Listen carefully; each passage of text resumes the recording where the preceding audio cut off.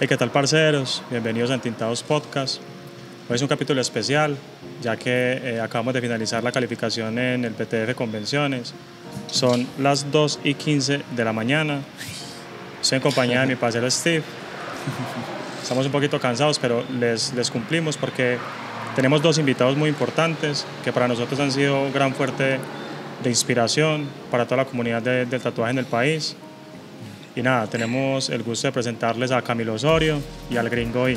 Hay un aplauso, muchachos que están acá detrás. Muchísimas gracias a, a todos por la invitación, no solo a ustedes que están acá, sino pues a todas las personas que ven el canal.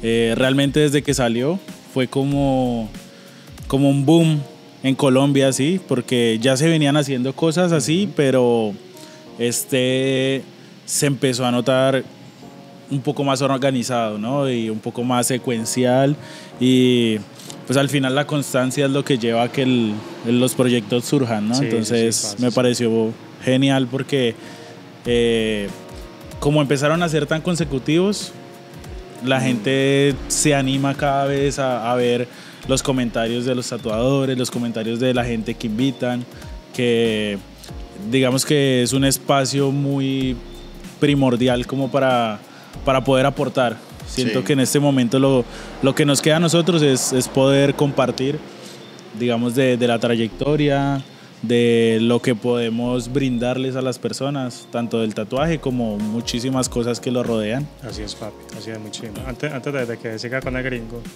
mencionarles a todos los que nos, nos ven que tenemos una autopista justamente detrás de nosotros, porque en la, se, cerca de la tarima había mucho ruido. Ese fue el único espacio que encontramos como más ameno para, para poder compartir. El espacio está chimba, ¿no? Sí, Sí, está bueno. bacán. Ahora sí, papi, puede continuar. Muchas gracias por la invitación también. Eh, se me hace muy buena la, la idea de, de realizar esto hasta después del evento. Habíamos conversado una vez como de hacerlo en el estudio, como Sí, de sí, sí. ir y todo el tema. Cuando ahorita pensamos pues que se conversó eh, para realizar el, el video, la transmisión antes de, de la calificación y todo, pero sí retrasa un montón el, el proceso. Y bueno, ya después de ver cómo pasa el evento y tomar la decisión de eso, yo dije, bueno, pues vamos a hacerlo. Vamos, Vamos a vamos a hacerlo. real. Entonces, Vamos igual, muchas gracias por la invitación, No, por tenerme en cuenta. Muchas gracias a para ustedes, todos y- muchachos, de verdad bueno, que sí. estamos, estamos para apoyarnos también. Y pensamos que no nos íbamos a demorar y dijimos, no, no, hagámosle después de la calificación, pero incluso Yo está muy bien. Está muy bien porque podemos, digamos que tocar esos temas que de pronto a veces quedan como muy al aire, ¿no? De que a veces uno ya después cada uno termina la convención, todos se van a su cuarto Ajá. o a su hotel o a lo que sea y ya después de ahí para allá viajan y se quedó como ahí en volando Sí, sí, sí. mucha información que de pronto podríamos Sí. haber conversado, haber aportado, que, que, que funciona, que no funciona. Qué chimba. ¿Cómo, cómo se sintió papi en este evento? No, genial, yo creo que es, es muy chimba. O sea, a mí Bucaramanga me gusta demasiado por, por la calidez de la gente, me gusta mucho la comida. Parce, volver a ver los panas de nuevo cada año, porque ya es el tercer año consecutivo que, que vengo a parchar. Y no, es, siempre es genial porque digamos que el gringo, parce, que en Medallo no lo puedo ver muy seguido. Ya, Ahora- que, estás, ya, sí. ya que estás allá, ahora, Ahora ya sí. estás pegadito.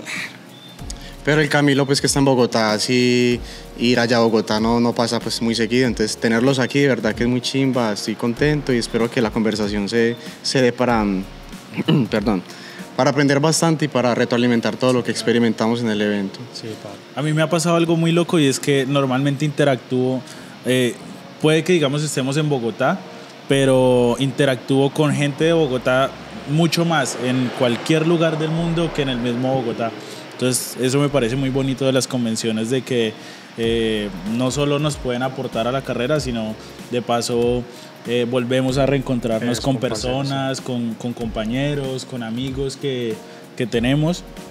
Y, y me parece que esto es como lo más bonito, digamos, estando en, en Roma, en Italia, como que siempre me encontraba gente que, que ya había, o sea, con la que ya había interactuado en otros eventos, tanto aquí como en Bosa, como en Soacha, como en Sí. Bucaramanga, en Ocaña, o sea, as- parte así del sea, país.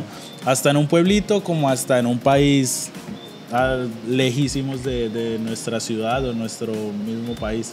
Entonces eso me parece muy bonito de las convenciones. Hay muchas personas que tal vez como que eh, la satanizan un poquito, digámoslo así, porque eh, yo estoy como en un punto intermedio, ¿no? Al, al hacer neotradicional, como que estoy de acuerdo con las personas que hacen tradi, que son como muy radicales algunos, ¿no? No todos. Algunos tienden a ser un poquito más radicales, como la parte neo, también de, de nuevas propuestas, de nuevos estilos, de, eh, de cosas que tal vez como que no están ni aquí ni allá.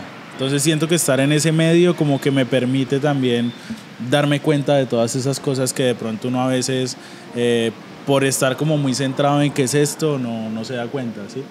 Entonces eso me parece bonito de las combes porque uno aprende muchísimo.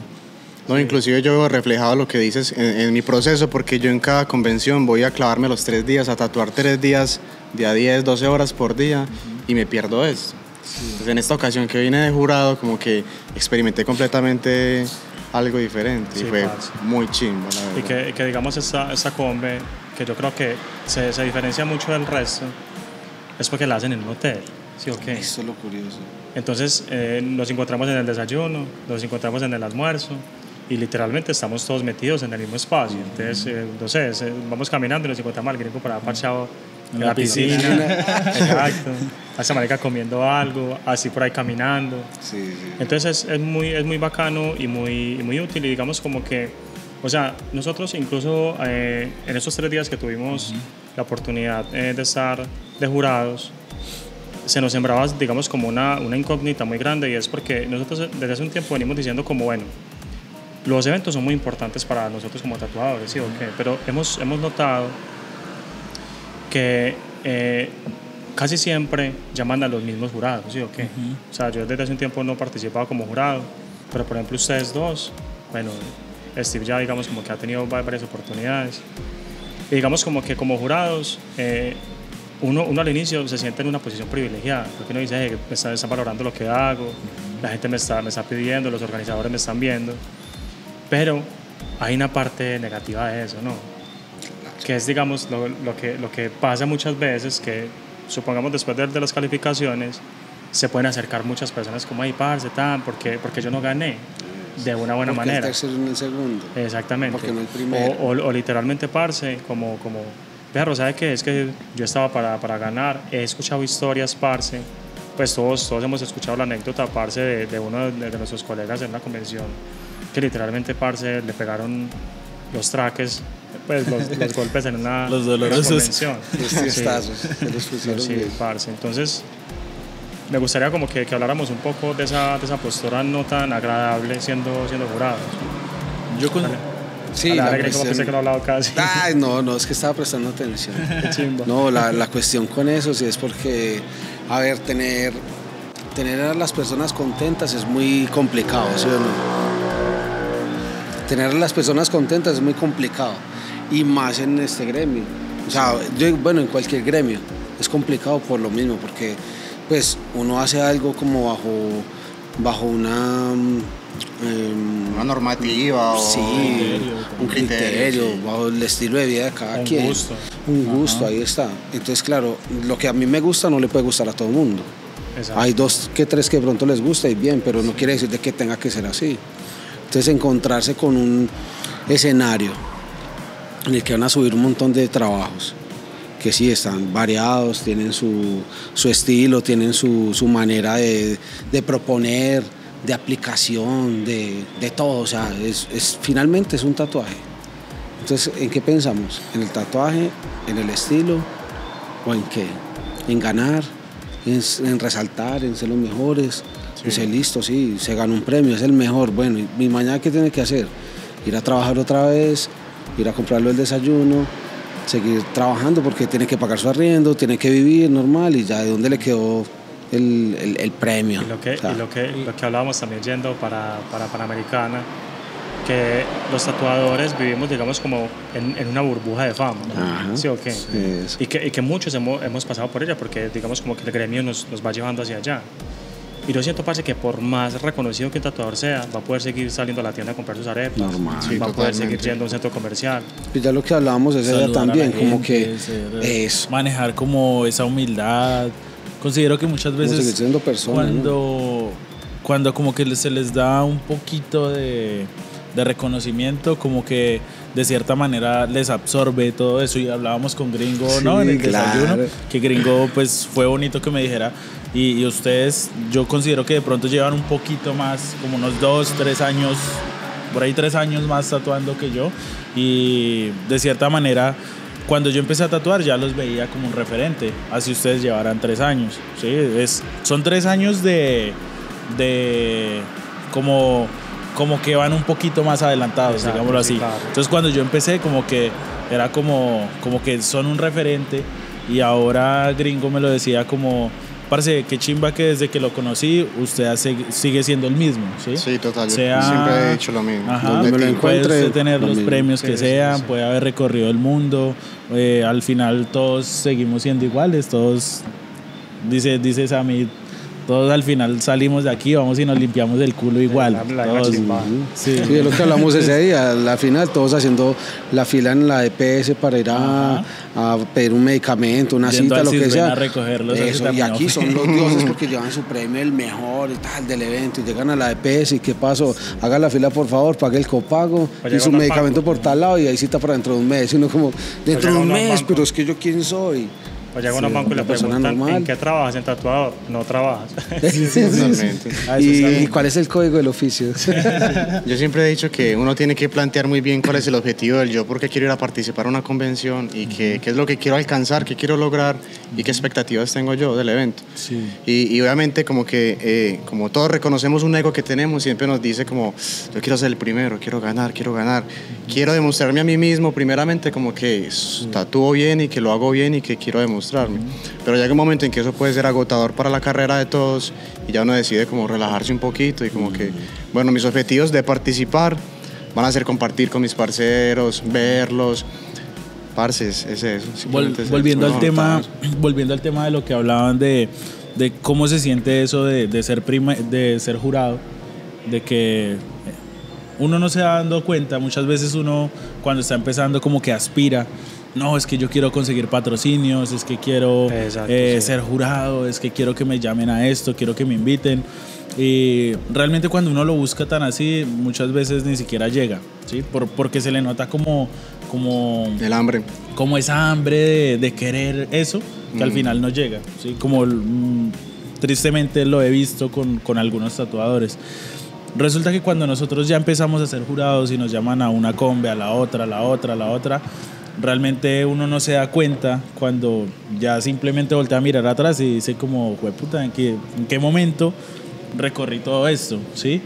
Entonces, eh, hablábamos algo de, de- de esas sensaciones malucas que uno a veces siente de, de cuando es jurado y yo considero que uno, eh, por una parte, tiene que volverse como muy fuerte mentalmente Sí, de ciertas, Pablo, de sí, ciertas cosas porque siempre va a haber una crítica, como decía Gringo ahorita, siempre ganan tres personas y el resto van a estar inconformes y eso es algo normal. Y el malo es uno. Porque, Porque, porque ah, no lo gané yo, sí. Y que, y que pero- también, y que también a veces, parce, siendo uno jurado, es como, como que se puede tergiversar la personalidad de, de- de cada jurado. Por ejemplo, o sea, yo soy una persona muy sociable, pero cuando hay mucha gente, yo me siento como intimidado. O sea, y entonces la gente piensa que, que uno es creído, que uno es mero pato, que uno se agrandó. Pero, parce, no, o sea, no es así. Simplemente yo me siento intimidado por la gente, porque me están viendo como jurado. Y yo digo, parce, o sea, yo no, yo no quisiera estar acá, yo antes quisiera estar allá. ¿Se me hago entender? O sea, yo quisiera estar tatuando, quisiera estar participando. Que, que digamos eso es lo que a nosotros nos llevó a mejorar. Yo siento que siendo jurados no aprendemos tanto como siendo particip pues, como participando en los eventos. Exacto. Porque ahí es donde uno ve, supongamos pasa por un stand y empieza a ver camellos de ustedes y uno dice, uy, marica, parce, aún me falta mucho. Entonces ahí es donde uno tiene que controlar la parte egocéntrica de uno y decir, voy en el proceso, Sí, claro. necesito más tiempo, necesito practicar más, sí, ok. Pero entonces siendo jurados, como que a mí personalmente, como que me limita un poco, sí, ok. Porque yo quisiera venir acá, parce, y, y a muchos eventos, que, es lo que, que es lo que yo muchas veces he hablado. Supongamos, si nosotros quisiéramos, parce, eh, participar en un evento, ¿por qué no nos dan el valor también, digamos, como de los mismos eh, gastos que cubren para, para ser jurados? Armar un, un combo bien tremendo de tatuadores que vienen siendo jurados hace mucho tiempo y que entren a participar para alcanzar un nivel en el evento mucho más grande. Claro. Porque es que, supongamos, hay convenciones como, como el Bucaramanga y ya hay que, hay que entenderlo, es el formato que, que han creado eh, en esta parte pues, del, del país. Que el mejor del evento participa como jurado en la siguiente edición. Entonces yo siento que es una puñalada que se clavan a sí mismos. Porque están sacando un buen tatuador a ser jurado, entonces ¿qué va a pasar con el nivel del próximo año? Y, y todo, y todo lo hemos, lo hemos No, y, visto. y es evidente, Sí, es evidente. Es evidente. Y los puede cambiar también un montón porque pueden decir como que, ah, no, me hice el mejor tatuaje, ya después soy juez, entonces ya después ya, yo soy juez. Es una zona de confort en la que Entonces- llegan y, y pueden entrar. Sí. Igual siento que también son, son oportunidades que así como se nos dieron a nosotros, tal vez eh, hay a ciertas personas que también es necesario que se les dé, solo que no todos lo ven de la misma manera, ¿no? Es que es un arma doble filo, Sí, Camilo, sí, porque o tú te conformas con lo que está pasando, o tú aprovechas ese impulso para eh, creer en ti y, y como que... Y decir, exactamente, Ah. o sea, yo, yo tengo que validar la postura que me están dando. O sea, yo, yo no puedo pretender que ahora, al ser jurado, literalmente es por el nivel que tengo ahí. O sea, antes Ajá. hay que entender que hay que seguir en un nivel más, más avanzado. Lo que, lo que hablábamos ahorita, Sebas, de, de lo que hablábamos allá en Tarima, que yo te decía, muchas veces es, es mejor decir, esta vez no, ¿sí? Y, y uno mismo es consciente, uno mismo es consciente de, de tatuador cuando participa eh, sus fallas. Yo creo que no hay nadie que le pueda decir más las fallas a uno que uno mismo. Pero, pero Y si uno no los ve, ese- exacto. Hay gente que no Y tiene ahí, y ahí es donde está el error. Gracias, parce. Y ahí es donde está el error, porque si usted no ve la falla, pues nadie más se la va, Exactamente. nadie más se la va a hacer notar. Ahí a las personas que nos están viendo, eh, está sonando un camión por allá atrás, entonces por si suena, es eso, es Gracias, eso. Gracias, camión de Si, suena- si se escucha, lo omiten.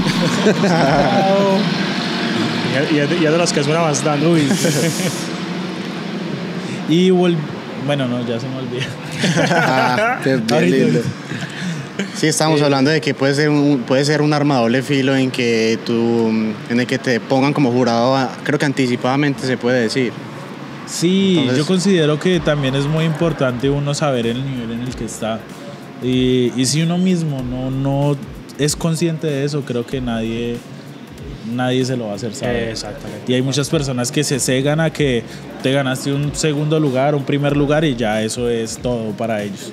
Y es como, a mí, a mí me decían en el local, eh, cuelgue el premio de Milán ahí. Y yo no, o sea, don- en el estudio está bien. No, es que tiene que ser ahí al lado suyo. Y yo, ¿pero por qué? Si el estudio, pues es. es Es todo, la es casa. mío, es todo, nuestro, es la casa, o sea, todo. Yo, bien. pues por mí no hay problema que está al lado mío o al frente. Al final, digamos que cuando, así como Sebas ha tenido esos logros como grandes en Europa, en Brasil, digamos que esta vez cuando, cuando a mí me pasó lo de Milán, cuando se llegó el reconocimiento de Milán, lo que yo pensé, yo no fui como, ah, soy el mejor ahorita, no, todo lo contrario, yo dije, el compromiso, el compromiso que se me viene más adelante, porque llevo dos años trabajando en este proyecto, ¿qué voy a hacer más allá? Si, si le he metido toda mi ficha a esto, ¿sí? Sí. Y, y es un proyecto que aún continúa, o sea, no es el final ahí. Al otro día seguíamos quedándonos en el hotel dos estrellas, una estrella, comiendo eh, McDonald's por ahí en la esquina y guerreándola como cualquier extranjero en Europa, ¿sí? Sí, es un tema la de conciencia, ¿no? Exacto, a la final, al otro día seguimos siendo el mismo, seguimos siendo las mismas personas, que sí, hay, hay un boom en ese momento y mucha gente eh, lo felicita a uno y mucha gente eh, llegan oportunidades, ¿sí? Eh, decía una persona allá de España que, la aprecio mucho, como que mm, muchas personas van a querer tener sombra de, eso que usted acaba de recibir. Entonces llegan marcas y venga para acá, Ajá. lle- llegan eventos y ay, hola, papito, ¿sí? Entonces, pues considero que uno también ahí es donde no se las tiene que creer, sino que realmente mantener una postura con los pies muy en la tierra y ser conscientes de, de pues que de ahí en adelante seguimos siendo los mismos. Perro, y ya, ya, que, ya que mencionas eh, el evento en Milán y obviamente hemos tenido la oportunidad de, de visitar convenciones en el exterior hemos, o sea, ahí podemos digamos como sacar eh, diferencias pues notorias, ¿cierto? Pero a mí me sigue preocupando mucho el nivel de, de las convenciones en, en Colombia. Colombia demasiado. Porque, o sea, yo, yo no entiendo el cambio ni desde qué año sucedió, pero está sucediendo. O sea, cuando somos jurados parce, evidenciamos más eso. En redes sociales como que no se nota tanto, Ah. ¿cierto? O sea, como que uno ve trabajitos y tintin, pero cuando uno viene a los eventos, que es el espacio en donde usted muestra tatuajes en vivo, en donde literalmente parce, usted pasa y ve parte de- del proceso, las inyecciones, cómo se recuperan esos tatuajes. Yo me quedo, digamos, con, con un sinsabor cada que, que yo voy a los eventos, porque casi siempre los que uno sabe que siempre ganan. O sea, siempre uno, uno sabe, ah, por ejemplo, viene tal, uno dice, va a ganar algo. Entonces, los pelados nuevos, sí, ok, que vienen, vienen surgiendo, vienen como, como creciendo y apostándole a algo nuevo, tienen una tarea muy grande y un compromiso muy grande. Porque de ellos es que depende que todos estos eventos sigan creciendo, ¿cierto? Pero esa es la exigencia de cada uno, ¿no? O sea, como decir, bueno, listo, este es el que siempre gana, pues yo le quiero ganar. Entonces ahí es donde empieza la competencia. Si se hace sana, es como tal de decir, listo, puedo ser mejor que él. Entonces empieza como esa exigencia, obviamente, primero con uno mismo por hacer algo mejor, pero a la vez es como la referencia, como lo que hablamos ahorita. Si es una referencia, uy, estos llevan tan, son referentes míos. Entonces uno dice, listo, si este pudo ganar el mejor del evento, el mejor del estilo, lo que sea, porque no lo puedo hacer yo. Es como que ahí es donde empieza la, como la lucha, digámoslo así, o la competencia, pero se puede hacer sanamente. Es como que, hey, ve, este man es muy bueno, me gusta, es un, un- un ejemplo para mí. Puedo llegar a, de pronto al nivel de él, o de pronto, igual, si pasa en una expo que de pronto llegan y, le, y lo, no sé, le ganan, por decirlo así, en, el, en la calificación o lo que sea, pues está bien, pero fue ese momento. No, y por eso es que a mí Y me gusta no mucho el papel. la trayectoria. Sí, justamente eso que dices me, me, me recuerda el papel que Cuervo está jugando en la Expo de Medellín, porque él nos dijo en el podcast pasado que yo ni siquiera voy a, a competir ni creer que yo soy el mejor, sino que yo voy a experimentar como, como el compartir y a, a parchar, a tatuar, pero yo quiero que gente llegue y diga, yo le quiero ganar a Cuervo. Y digamos que el papel que él, que está jugando ahí es importante porque, o sea, el reto está ahí. Entonces, digamos que mucha gente que hace letras quiere llegar a ganar. Entonces, él no, a él no retirarse, no le deja el camino fácil a que llegue cualquiera y pueda, digamos que, hacer lettering y, y, y se premia porque fue el, el menor peor. Y eso tampoco le va a frenar Sí. su carrera, porque él va a seguir ahí y bueno, puede que ya no participe o que simplemente quiera caer a parchar o lo que sea, pero eso no va a ser de que, ah, no, ya no gano una expo, entonces ya no es, ya no es bueno, ya, ya como que eh, hasta ahí llegó su carrera. No, antes al contrario, como que sus clientes van a seguir llegando, eh, de pronto su público también, y pues lo van a seguir es a él. No si ganó no en evento. Y que, y que, y que yo siento, parce, que yo, yo siempre he pensado, el nivel de convocatoria siempre lo van a tener los eventos. ¿cierto? Porque, porque mueven, digamos, esa, eh, eh, como generan el movimiento que, que, digamos, como que desplaza a muchas tatuadoras del país a llegar ahí, ¿sí o qué? Entonces, en el nivel de convocatoria, parce, que tienen los eventos, digamos, como que no se dan cuenta de la gran influencia que tienen en, en- obviamente, pues, en los tatuadores que van a ella, ¿sí o qué? Porque digamos como que, pues la verdad hay que, hay que decirlo, este evento es un evento muy chimba porque cuenta con muchas actividades como para que las familias vengan, compartan conciertos, pero yo siento, parce, que los eventos de tatuaje nunca pueden olvidar que son eventos de tatuajes, o sea, son eventos de, tatua de, de- tatuadores. Sí. Y en la primera edición que nosotros estuvimos participando, yo sentí algo que yo no había sentido en ninguna convención y que yo solo la sentí en México. Y es que en México son demasiado apropiados por su cultura, por sus artistas, por sus músicos, por lo que sea que pasa en México. Y en esta convención, en la, en la primera edición, parce, todos sentados en la manga, como en pequeños picnic, todo el mundo celebrando si alguien ganaba. Entonces ahí es donde yo empiezo a notar que hay un declive en el tatuaje, porque ustedes notaron ahorita.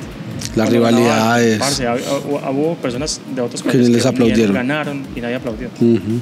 Y yo decía, parce, o sea, no están valorando lo que está sucediendo con el, con el tatuaje. Sí, claro. Que nos ven a nosotros como un país referente al tatuaje, quieren venir a las convenciones y no tenemos el valor de decir, parce, qué chimba, weón, ganó, ta, sino como que, no, no estaba tan, eh, no estaba tan chimba, ganaba el mío o ganaba el de aquel parcero.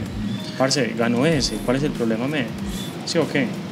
Ahí es donde, digamos, como que yo empiezo a, a- a analizar que los eventos de tatuajes están desanimando a los tatuadores. Porque se está volviendo muy rutinario. Entonces ya todo es la misma dinámica, siempre. Y lo que hablamos del- del tema de ser eh, los mismos jueces. Entonces cuando los cambian uno dice, listo, bacano, porque obviamente hay un pensamiento diferente, una forma de ver la, la situación distinta, pero volvemos a lo mismo, es la misma dinámica. La. Ah, no, vamos a cambiarla, ya le vamos a poner cámaras allí, no es que tal, no sé si bacano, pero Pero, parce, Sino que, yo- sino que sabes que Sebas, hace, hace, hace, cuánto- hace cuatro años fue, no, no, tres años, fue la, la primera de acá, Hace, hace cuatro de Bucaramanga. sí, sino lo que pasó en ese evento es que como fue post pandemia, fue como el primer evento de tatuajes que se logró hacer después de todo lo que pasó del 2020 y siento que fue demasiado emotivo porque o sea, el reencuentro, volver a salir a la calle, volver a venir a tatuar. Entonces mira que eran muchas cosas que hacían que todo fuera muy chimba, eso fue lo que, lo que yo puedo observar. ¿Y qué pasa hoy día? Que hay mucho exceso de convenciones en Colombia, que ya, no voy a decir que cualquiera, pero ya una convención se surge, no fácil porque hacer una convención no es fácil, pero hay demasiadas convenciones acá en Colombia. O sea, es que yo siento que hacer una convención es fácil. Hacer una buena convención es muy difícil. ¿Sí? Exactamente. O sea, como que, como que vele literalmente por, por resaltar al artista. Parce, o sea, literal, o sea, yo, yo con esas cosas no voy perro. para eso es una Y- convención. Y, yo, yo digo, parce, o sea, la calificación de afán. Pero para los conciertos, ahí sí hay que esperar todo lo que sea. ¿sí me No, y para la fiesta de Porque- inauguración, para si la es- fiesta si de- si es a de- o el que sea, hay que esperarlo porque es el artista. Pero es un evento de tatuajes, papi. ¿Sí me hago entender? O sea, como, como y, y también algo muy, muy pello. No ganaron ni qué hacen, cogen sus bolsos y se van. Ah, sí. Porque no se quedan perro tomándose en una pola, no les interesa Mm. perro. Solamente les interesa ganar y está bien, está bien perro. Pero entonces luego no se quejen porque las convenciones no crecen. Claro. ¿Me entiendes? Porque no le están ganando a nadie. Y, y yo sé, pues, eh, yo, yo se lo mencionaba ahorita, parce, detrás de, de cámaras, que algo muy pelle de cuando uno es jurado es que se choca de frente con una realidad que uno siempre desconoció. Y es, yo antes ganaba en convenciones, pero ¿a quién le ganaban convenciones? Porque cuando ya somos jurados y, y deli- deliberamos alguna categoría, como, eh, qué sé yo, eh, cualquier categoría, Ujú. eh, mini- minimalista. Color, lo Sí, que ok, sea. Lo que sea. Eh, segundo lugar, uy, parce, que embala, weón, ninguno gana. El primero, no, pues es que ese es el menos peor. Y cuando ganan, son celebrando. Y yo digo, uy, parce, qué vuelta, weón. O sea, ahí yo me empecé a dar cuenta que me hacía falta mucho en el tatuaje. Pues yo, posiblemente eso me estaba pasando a mí. Quizás me estaba proyectando. O quizás mis tatuajes eran muy buenos. O quizás era, era el menos peor. Yo dije, no, parce. Hay Es una hay contradicción. Hay que meter el power. Pero, pero digamos como que si pudiéramos nosotros generar aportes a la cultura en general y a, y a los, a los eventos y organizadores de, de eventos para que, los, para que el tatuaje, y siendo los eventos tan, tan influyentes, pudieran hacer algo por el gremio, ¿qué podrían hacer? ¿Qué creen ustedes? Yo digo que sería como incentivar un poco más, como, no sé, retrocediendo un poquito del cassette y viendo el tipo de convenciones que se hacían antes. como tal cual era. Uno iba a una expo y llevaba sus flash, sus pinturas, sus vainas, y la gente iba a la expo a buscar con quién tatuarse. Sí. Hey, tiene tiempo libre, "Ey, me quiero tatuar tal vaina. Ya no. Ya aquí la gente no viene a buscar tatuajes porque ya todo el mundo tiene su lienzo, como lo llaman. Exactamente. Y que No, si y publican sí. en redes sociales, les busco lienzo, Pero, le pero escriben 30 también el término personas. lienzo es como algo muy despectivo, ¿no? Pues eh, Colector. un colector, una Exacto. persona que está poniendo su tiempo, su, su dinero también, Piel. su piel, o sea, todo su tiempo para, para hacer un tatuaje y lo van a llamar lienzo como si fuera un pedazo de, de basura o algo como que, ah, lo dibujo y si no Pues gusta, algo, algo, algún, pues, ¿cómo es que se llama algo cuando, desechable, está algo que, ahí? sí, inerte, una piedra. Inerte. algo ahí que, que ni hace ni deja hacer, es un tumor. O sea, es que todo se ha, se ha privatizado Un mucho. tumor o sea, que ni hace ni deja hacer. es que todo como que se ha vuelto ah, supuestamente exclu- ex- ex- exclusivo, perdón. Y ya como que voy con mi lienzo, tal, una- algo ya hablado, ya organizado, y mira lo que dice él, un evento en el que llegue la gente a conectar con artistas y buscar buenos ta- tatuadores de la, de la ciudad y que pase todo lo que Pero es ya que, no es que- pasar. Un es ejemplo. antes decían, parce, que los eventos eran súper rentables. O sea, que literalmente, parce, por eso. invertían 10 palos para el stand pero se hacían 30, 40, entonces decían, uy, gonorra, qué chimba los, los eventos. Entonces llevaban eh, merch, llevaban, llevaban eh, sí, ropa, llevaban pinturas, llevaban vainas y la gente iba y como que quiero esta pintura, me la vende. Sí, de una, ah, pero también tatúemela. Ah, bueno. Entonces uno iba siempre con agenda libre, por decirlo así. Entonces imagínese usted, Sebastián Carvajal en una expo con agenda libre. Listo, la expo es dentro de ocho días. Y llega usted y usted tiene sus proyectos, su trayectoria y todo, pero que usted llegue allá y, no sé, un ejemplo, se saque unas piecitas que usted diga, esto lo hago en un día. Ah, tengo estos diseños disponibles. Alguien que quiera de pronto tatuarse con usted diga, no, es que de pronto no me va para hacerme todo un brazo, pero esta piecita me la hizo Sebas Carvajal. Y uno dice como que, uy, qué nota, porque la diseñó él, me la hizo él en la expo, tuvo el tiempo, pasé, le pregunté, estaba disponible, el, otro estaba con la cruz porque ya lo hizo otra eh, se lo hizo a otra persona. Y tengo el papayazo, ah bueno, aquí fue pum, me tatuó con él, no, te- no tuve que sacarle cita, llegué allá y pues sí me hice algo y pues bien, y es rentable para ustedes, un reconocimiento también y la persona se va feliz porque lo está buscando usted. Como ya van y como que, ah, bacano, no hay, ah, venga, dame una tarjeta, o ah, tiene calquitas para regalar, o ah, tiene, eh, ¿dónde lo puedo buscar? Ah, yo lo voy, pero nos podemos tomar una foto. Y uno dice, sí, bacano. Y, Parce, y la foto y compartir ¿sabes, y todo. ¿sabes, qué me, ¿Sabes qué me pasó? Pues yo, yo sé, parce, que, o sea, nosotros eh, tenemos, digamos, como impacto en el gremio, pero no somos los que comandamos el gremio, ¿sí me voy a entender? O sea, el gremio es un gremio, eso no lo comanda una sola persona. Ujú. Somos una comunidad que luchamos por jalar a, a- a todos para poder llegar a, a algún lugar.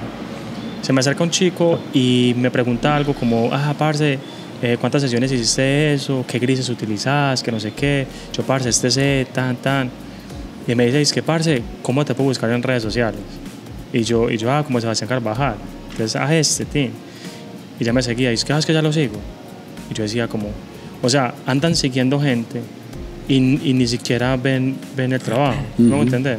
Entonces yo digo, o sea, como que nos hemos desligado mucho de la comunidad y cada uno ha ido tomando su rumbo, pero no se ha dado cuenta que lo único que estamos haciendo es replicar y replicar y replicar. Y eso, y eso para mí es preocupante, parce, porque yo soy una, una persona como que sueño viendo un gremio en Colombia de un tatuaje como se vive en México, que es, es el lugar más cercano, que tiene su imaginario colectivo plasmado en el tatuaje, que yo diría que es de los únicos tatuajes, de los únicos países en el mundo que tienen un tatuaje como de identidad de país. Como una línea que uno dice, eso es México. que, que, que- que son pocos. Podemos mencionar que, por ejemplo, el japonés, Ujú. ¿cierto? El tradicional que, que es muy, muy americano. Eh, pues si ustedes que, que, que sabrían El tradicional europeo también diferente, o sea, son difer- el tradicional de Sudamérica, de Argentina, de Chile, unos tradicionales súper buenos y es tradicional, Ajá. pero entonces no, no es igual al de Estados Unidos, ni igual al de Canadá, ni igual al de Australia o al que hacen en, en Europa, pero es tradicional, pero se nota como la onda, como la influencia de pronto, no sé si es por la zona o algo, cómo lo transformen, pero igual es un tatuaje. Sí, no, y los sólido, diferencia, los algo- diferencia totalmente su cultura, su historia, sus animales, sus mitos, todos. Pero entonces, leyendas, entonces todo. acá, o sea, yo, yo escuchaba a Camilo hablar, parce, que me pareció muy, muy chiva, porque yo recuerdo cuando el, el, el neotradicional empezó a surgir. Era, era como muy, quizás, eh, no sé, le faltaban muchas bases a- al, al inicio, pero de, un- de unos años para acá, parce, el neotradi viene consumiéndose el mundo marica y llevando a Colombia. Y yo digo, "Jue puta, qué chimba, weón, ver un estilo así. Porque yo, yo no puedo decir lo mismo de- del estilo que me dio a, que me dio, pues, a el conocer, reconocimiento. que es, el, que es el realismo en sombras. Parce, yo llego a convenciones perro y es inevitable sentirme mal perro, la verdad. Porque yo digo, parce, ¿cómo es posible que la gente año tras año siga haciendo el mismo realismo en sombras? O sea, yo no sé por qué creen que hacer realismo es ir a buscar una imagen y tatuar esa misma imagen Pues cuadrada ser la el piel. top, pues ya llegar al límite de la carrera y ya. Yo, O sea, yo es- hoy hablaba de eso y precisamente con la gente que hace realismo color y yo decía, ¿por qué no uno mismo hacer la fotografía, uno mismo hacer la composición? ¿sí? Que si falencias en que no se tomar una foto, pues estudiar eso. Porque sí, a la final, si usted, un ejemplo, hace realismo color, a mí, a mí se me hace una de las técnicas más difíciles y yo me junto con mucha gente que hace realismo color y de cierta manera mi influencia en el neotradi, de cierta manera yo trato de absorber todo lo que, lo que puedo llegar a, a adquirir de otros, de otros estilos, ¿sí? Entonces, ¿qué hago yo? Y lo hablábamos este fin de semana que hice un, un Art Fusion con Esteban. Eh, últimamente y este año me quería proyectar a las expo a, hacer colaboraciones con amigos porque considero que eh, a partir de ello, tras de que uno comparte, mm, puede absorber cosas de otros estilos que, que le pueden generar un beneficio para, el, para lo que uno está haciendo. ¿sí? No es como decir yo hago esto y ya, y yo, lo que yo le decía, yo me adapto a- al estilo de la otra persona, no porque quiera que él tenga más protagonismo o no porque quiera que no resaltar, ¿sí? Porque muchas personas, el, el error que cometen al hacer una fusión es yo quiero resaltar. Sí, sí, impone- esto. imponerse sobre eso, sobre el otro. ¿sí? Y, y que también no saben diferenciar entre una colaboración y una fusión. Porque la, la gente cree que supongamos juntarnos, supongamos Steve y yo, es hacer, es hacer, un, es hacer un art fusion. O sea, cuando los, los estilos, o sea, entre los estilos no hay un abismo tan grande, termina convirtiéndose en algo muy parejo. Entonces no se convierte en, en un art fusion. Pero cuando supongamos es un, es un estilo como el tuyo, un estilo como el tuyo mezclado con nosotros dos, eso sí es un art fusion. Ya nos toca sentarnos a crear, a, a unir bases, que se conserve su, su parte. La y línea de cada uno. Exactamente, y, mi- y la mía. Entonces ya es un trabajo de campo mucho más Y elaborado. algo que se vea compatible. Eh, Muchas exactamente. veces muchos Art Fusion no funcionan No, no funcionan. y es No, porque no sean realmente no, no es compatible un estilo con el otro. Entonces, yo considero que, que en esos casos siempre es importante ceder. Así, y creo que con las personas que, que de pronto hacen fusiones que, que no son exitosas es porque realmente no están cediendo de las dos partes por igual, ¿sí?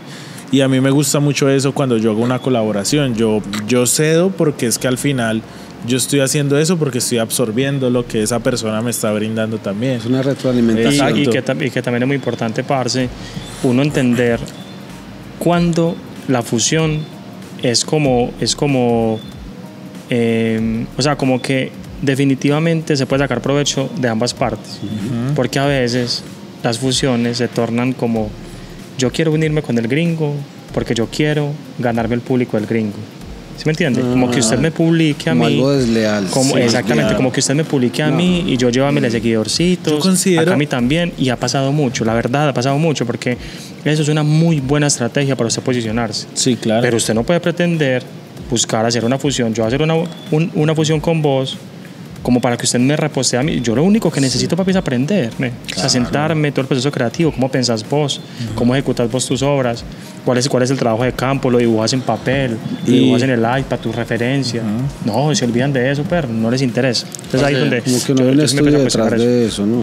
Sí. O sea, que digamos algo que hace unos días, pues un- yo creo que por ahí un mes más o menos, eh, retomé con parceros, obviamente ya estando en la sede de Laureles, ya nos movimos, ya estamos más cerca todos. Uy, sí, Entonces, estando ahí, volví, igual es algo que yo he hecho siempre, pero, pero que ya tuve la facilidad de poderle decir a parceros de que caigan al estudio porque sacamos un día específico para pintar, dedicarle todo ese día solo para pintar. Igual, un ejemplo, yo tengo mi cita a las 12 y me voy a las 8 o 9 de la mañana al estudio, pinto lo que alcance, a las 12 a tatuar y sigo, ¿cierto? Pero entonces, digamos lo que pasó con Palacio, viajé con él acá y dijimos, bueno, vamos a tener un stand los dos, ¿qué vamos a hacer? Programemos la pintura y a ver, porque llevamos años hablando de hacer una fusión, de hacer algo entre los dos y tal, para tatuar. Y no, no se nos ha dado. Habíamos separado citas y todo, y siempre pasaba algo de que nos tocaba cancelar, y o él no podía, o yo no podía, o un viaje, o lo que fuera pero se nos dio de la manera más correcta, que fue desde la pintura, desde el dibujo, desde el diseño y todo. Entonces ya desde ahí han ido surgiendo otras ideas, las cuales ya ahora el siguiente miércoles, ya llegamos allá a Medellín, nos vamos a reunir otra vez y vamos a empezar otra. No fue como que, ah, listo, hicimos la de la expo y cada quien por su lado, sino ya vamos a reunirnos otra vez y a empezar otra, sin importar si viene expo o no, porque se va volviendo un hábito y de ahí nos van surgiendo ideas y de ahí nos va a salir el tatuaje que vamos a poder imponer o mostrar o yo qué sé, pues Sí, sí, como ex- exponer, ¿cierto? Yo considero. Ah, sí, Perdón, sin importar, digamos, de que sean dos estilos diferentes, pero que a la vez podamos crear algo que uno lo vea y diga como que, uy, ese tatuaje, ¿quién lo hizo? No es como que, ah, esto lo hizo el gringo, esto lo hizo Palacio. Es divertido. Que es como tan Sí, marcado, sí, sino que sea una sola idea que uno diga, uy, ese tatuaje, ¿qué pasó? ¿Quién lo hizo? Uy, pero es que el gringo no hace eso, pero es que Palacio no hace eso. Pero fue lo que salió porque es que lo estudiamos y practicó, exacto. Y ahí está la retroalimentación. ¿Usted cómo aplica esto? Ah, yo lo aplico de esta manera y, y- y yo creo este color de esta manera. No, yo lo aplico, de- lo creo de tal forma y nos da el mismo tono y uno dice, pero ¿por qué? Eh, porque, por, ejemplo, eso, eso, eso me pasa antes de, de darte la, la palabra a Cami. Cuando Steve y yo hicimos la, la colaboración, yo dejé partes que regularmente hago yo. Y yo hice partes que él hace y él hizo partes que yo, que yo hago. Y es Y como se vio salir mal. un poquito de esa, de esa Ajá. zona en donde, digamos, tenemos, tenemos como un- un- una forma mecanizada de, de trabajar. Y ya no vamos a hacer otras texturas, otras transiciones. Entonces empezamos a aprender un montón de la otra persona con la que uno está. ¿Y el resultado final qué tal fue? Una chimba. Ahí No, está, es que es porque así, hubo es una que- retroalimentación. ¿Sabes qué, parce. parce? Yo he tenido dos, dos Art Fusion, bueno, no sé si son, son Art Fusion, pero pueden ser colaboraciones en sí. O sea, yo no me importa eso ni qué sea. Pero han sido muy espontáneos. Fue con Sebas y con nuestro parcero Juan Hoyos, que siento que fue algo, parce, simplemente con los dos fue igual. ¿Qué quiere hacer usted? ¿Qué quiero hacer yo? Nos, yo creo que nos desligamos de conceptos, de todo, y simplemente, parce, yo, yo le dije a Juan, yo hace rato quiero hacer una lámpara así, así antigua, de, de, como esas son como de gasolina o algo Sí, así. sí, sí. Parce, él me dijo, yo quiero hacer una serpiente. Parce, con- con- no sé cómo, pero fluimos y quedó y se ve súper chimba. Y Sí. contigo fue así. Haga sus trazos, haga las letras y luego salió mero concepto como que, como que, no sé, como que hubo un número oculto que salió de todos esos trazos y luego le dimos un sentido muy chimba. Entonces eso es lo que me gusta a mí, como la espontaneidad a la hora de crear, sin, sin dogmas, sin límites, o sea, sin nada. como simplemente fluir. ¿qué vamos a hacer esto? ¿Y cómo no? Pues como salga y mandar una base y en base a eso, eso mismo le va dictando a uno cómo, cómo por qué línea irse. Un ejemplo, digamos esas pinturas que, que hicimos o que hago a veces para la- las expo, eso no tiene nada que ver con el japonés. Yo no lo vi, eso no es ninguna eh, pintura clásica japonesa. Y yo hago mucho japonés, pero en ese tipo de pintura hago eso que me fluye de esa manera. y Yo como que me gusta porque es que es algo diferente, algo que no es como, como que cumpla los parámetros. Exactamente. Eso incluso- Digamos en papel sí trato de hacerlo más a lo clásico, pero en, en, en tela, perdón, ese- Tranquilo. pero en tela me gusta como experimentar de esa manera y como ser muy libre ante eso y, y trabajar tonos muy diferentes que digamos en el papel si voy a hacer algo clásico no me va a pres- no me va como a La limitada. no permitir al contrario me va a limitar porque es que lleva como una forma lleva ciertos tonos y todo eso y va a aplicar y se va a ver mejor como en ese en, e- en ese estilo. Digámoslo así pues no, no es que lo lleve que tenga que ser así sino que en el papel trato de ir como más a lo clásico y en la tela trato de ir más como a lo que me sale en el momento, lo que me fluye, conversamos algo y bueno, hagamos esto, boom, y empezamos desde un tono, no hay stencil, no hay nada con lápiz, sino boom, boom, como que va fluyendo. Y usted qué quiere hacer, no, esto, metámosle acá, metámosle acá, boom, va saliendo hasta que la final es una pieza que se creó, que puede ser una pieza tatuable, que puede ser una pieza coleccionable, lo que sea, pero simplemente es como. Es como, como que, como salirse uno un poco de, de su rutina o de lo que siempre hace. Eso es lo que- en el es tatuaje hago una cosa, en la pintura en papel hago otra y en la pintura en tela hago otra totalmente diferente porque me gusta eso y de todo eso aprendo y lo aplico a, a- a las, a las siguientes. Pero lo diferencio un montón, entonces sí, sí es eso eso. Además que yo considero que, el- que, que las fusiones con otro tatuador, llámese tatuador, artista, eh, es algo muy íntimo. Para mí, para mí es algo muy importante e íntimo. Yo no voy haciendo colaboraciones con cualquier persona que por que se cruce en el camino simplemente por hacerlo y ya. Y muchas personas me lo han dicho, como hagamos algo, hagamos algo y uno tal dice lo, lo que hablaba ahorita como tal vez no es el momento, ¿sí? ¿Por qué? Porque necesito conocer más de esa persona, eh, cómo se relaciona, cómo comparte, ¿sí? No es solo hacer un tatuaje entre los dos y ya. Y lo que hablaba Steve ahorita de, de yo lo veo al contrario, para mí me parece eh, interesante lo que dijiste, porque yo pienso lo mismo, pero al contrario. Cuando yo hago una fusión con alguien es como, como que siempre le digo, dígale, dígame qué, me, qué le gusta de mi trabajo. Y yo le digo a usted qué me gusta de su trabajo y así mismo podemos Es fusionar una muy buena, algo, muy buena estrategia. sí. podemos fusionar algo bonito, ¿sí? Digamos un ejemplo de Steve, como parce, a mí me gusta mucho las letras que haces de esta manera. y tú me dices, Camilo, a mí me gusta mucho usted cómo hace estas caras y le pone estos ojos y se ve bien, ¿sí? O con gringo, gringo, a mí me gusta mucho usted cómo, cómo hace esas arañas, esas arañas que está haciendo últimamente. Y usted me dice, parce, a mí me gusta mucho esas ranas que usted hizo, tal, tal, tal. Y ya con eso uno poder crear, porque muchas veces uno no lo ve. No, muchas veces ah, uno dice, ah, es que yo quiero hacer una cara, pero no sé cómo. Ok, de pronto mi fuerte Y- es este. Y Exacto. mentiras que la Y- gente lo percibe y a uno. Y tal vez. Y- La vuelta, como y- Y tal vez esa otra persona le puede decir a uno, parce, es que usted, a mí me gustaría que usted hiciera algo así, como, como un cliente, así mismo, tra- tratar de hablar con esa persona que uno va a hacer la fusión y llegar como a ese acuerdo, así como tú lo dijiste, yo quiero hacer esto y yo quiero hacer lo otro, tal vez fusionar ahí las ideas de, de decir, yo quiero que usted haga esto y tal vez me gusta lo que usted hace de esto y poder fusionarlo.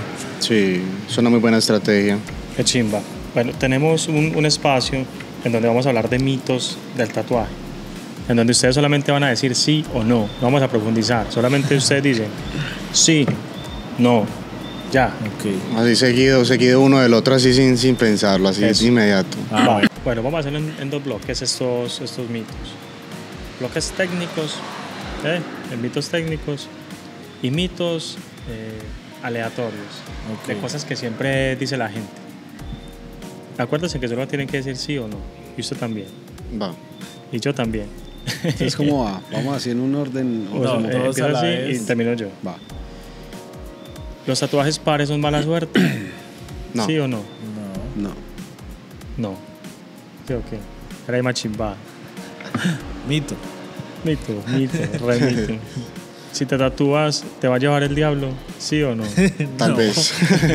Pues acá estamos y no, y no- no ha venido por nosotros el perro, hijo de puta. Eh, como el cuerpo es el templo de Dios, ¿debería tatuarse? ¿Sí o no? Sí. Completamente. De verdad que sí, sí. ¿Las personas tatuadas son las ovejas negras de la casa? ¿Sí o no? Yeah. Sí. Sí, no, no, yo creo que no. No. No, no necesariamente. Eso, eso fue lo que me liberó. Sí. Claro. O sea, pero es que usted es negro, soy sin ser blanco. oveja, entonces... Blanco. Pero es que ser negrito no está mal, ¿no? ser la ovejita no, negra no está mal. Lo que pongan le El negrito del flow. El negrito del flow. Dice, ¿de dibujito se vive? ¿Sí o no? Totalmente. Muy sí. bien. Sí, Sí, sí. ok. Porque lo diga Botero. Em, tener relaciones sexuales. ¿Daña el tatuaje? ¿Sí o no? Cuando, cuando se hace en la cicatrización. Depende de dónde se haga. Cuidado con la respuesta. Ojo con la respuesta, muchachos. ¿Sí o no? Mm, no. No, depende. Sí, Pues depende, eso depende de dónde se haga. Yo digo que no. Pero a, mí, no. a mí un parcero me dijo eso Es desde que que, querer esté, es poder. desde que esté bien inyectado. Eso no, no, no esté bien hecho, eso no le pasa nada. no necesitas estar repujado ni nada. Bueno, esta, esta, esta muy importante, papi. Y nosotros que, que tenemos a nuestras parejas allá. ¿Les han pagado con Credit Cuerpo? ¿Sí o no? No. No. bueno, A internamente. mí no. Pero, A mí no y no me las pico. Ah, bueno, sí, sí, sí, en la casa sí. Está muy amor. a mí no. No. Bueno, ahora vamos a los mitos técnicos. ¿Para usted no? ¿A usted no? Me- bueno. No. Sí ve que los Siempre cobran. buenas personas. serio, sí. Mitos técnicos. ¿Es indispensable un iPad Pro para ser tatuador? No. No. No. Si es del momento, sí. Pero O sea, en si es- general no. Si es el tatuador del momento, sí. Ok. Pero Oh my God. Tenía que decir y se dijo. Sí. ¿Usted, usted, usted- usted tiene iPad o no tiene sí, iPad? pero lo uso para poner música. Ah, buenísimo. O sea, pues O sea, se me dañó, me sí, pasó algo. no es. Yo hasta hace un O sea, tiempo indispensable para sí. mí no es. Yo hace un tiempo para mí no que lo sí, es. pero ahora veo que no, No. ¿cierto? ¿Qué más iPad que el papel calcante? Total. Uno- No, a mí me le muy bonito y, y siempre que veo a gringo en convenciones es como, como lo que hablabas ahorita de las combes, que, que llevar su hoja de flashes y eso. Incluso lo vi hoy haciendo algo así y ya lo había visto en varias convenciones y es como que le, le piden algo y saca tres marcadores y tal, tal, tal. Las Sí. habilidades, papi.